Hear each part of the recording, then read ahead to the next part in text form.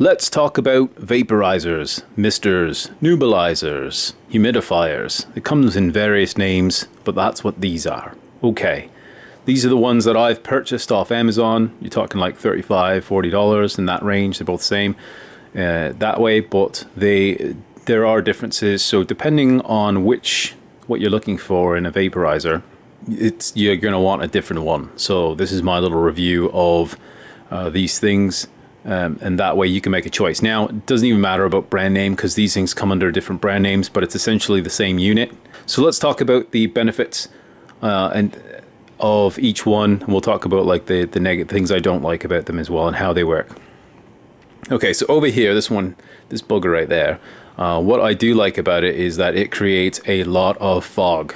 So we you can kind of see it at the top probably. This is minimum uh, standard right here. So it just turned on and it's got this dial at the bottom here and you can just kind of move it clockwise and then obviously you can see it just probably pounding out lots of fog now. Look at that.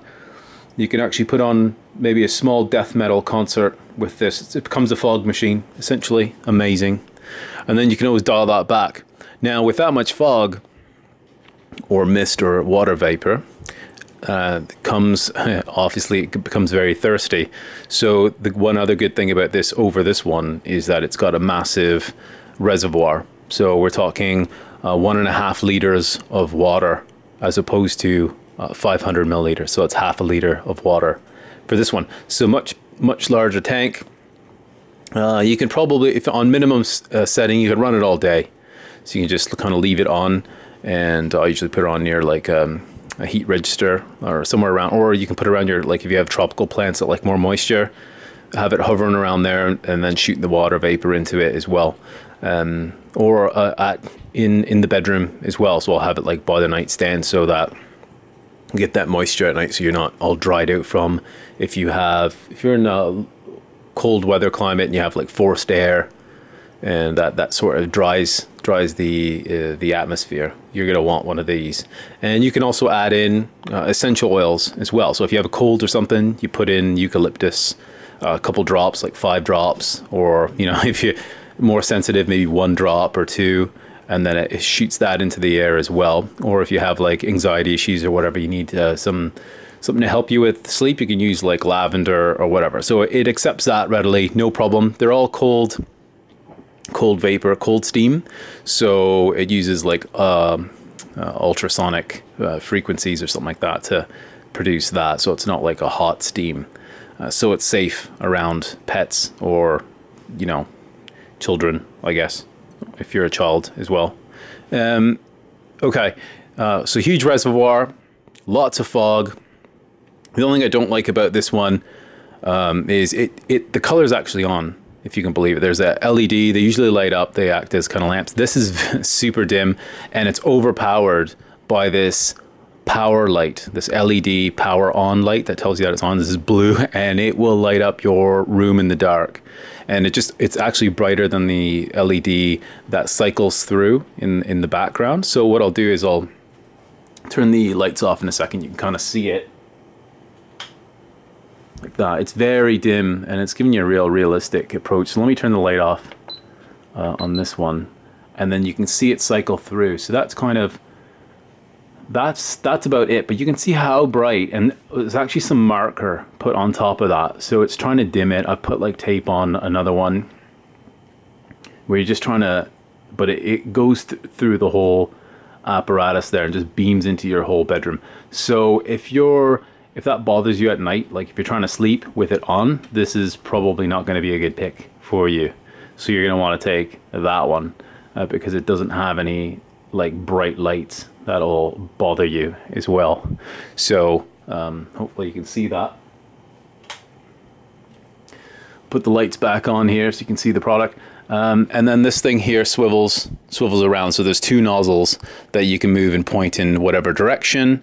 And what you do to uh, fill the reservoir is remove this tank and it's like an upside down thing. So I'm just going to turn it off for a second. And then you're going to lift it up. And then there's a cap right here. and you just kind of unscrew that. There's an opening, you fill it up with tap water, or you're supposed to be using distilled water so you don't get like calcium buildup or whatever if there's hard water. Put the cap back on, put it back on the stand like this, and there you go. She's ready to start steaming again. Uh, over here, uh, this one's really good because it doubles as almost like a night light, and you can go through, you can cycle through. Um, this one doesn't have a timer or anything, so uh, when it runs out, it just has that blue light goes red, and it just shuts off, and it just stays into that mode. This one here, you've got a timer on it as well. So if you only want it for, there's 60 minutes, 120 minute, 180 minutes and on. So it'll go until it's dry and then it'll do one beep and shut off. So that's that's a handy feature. This is a great one for the night, but unfortunately, um, if you have it on high, so there's a high and low setting. So I'll put it on, on right now. There's a little light that you can hardly see there. Let me turn the light off again. There's, I think you can see the power light. So it cycles through. So every time you hit mist, turns it on and you go up through the, the timer and then on to on. And then, like I said, when it runs out of water, it shuts off, but it's only half a liter of water in there.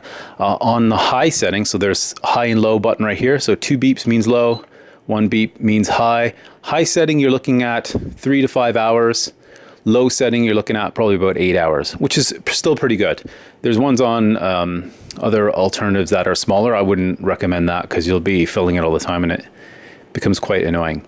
So this one's cool because you can have it with the mist, no light, and then that's unobtrusive at night. So if you want it in the bedroom and you don't want extra light because it bothers your sleeping, or you can have it with a light and it'll cycle through, or you can actually, so there's white light and we'll let it go for a second so you can see it cycle through the different LED uh, lights. And it's just uh, slow speed, goes through them nice and easy. And you can have them just light, light and mister, or just mister. So it's there's a lot more options with this one and you can see how much brighter. The light is on on this one but it just overpowers it. So it's a really cool kind of and it's the shape's a bit more pleasant too. It blends in with more scenery as well uh, like your um, decor in your house I think. And then you can either if you like a certain color so we'll just wait for the next color to come up.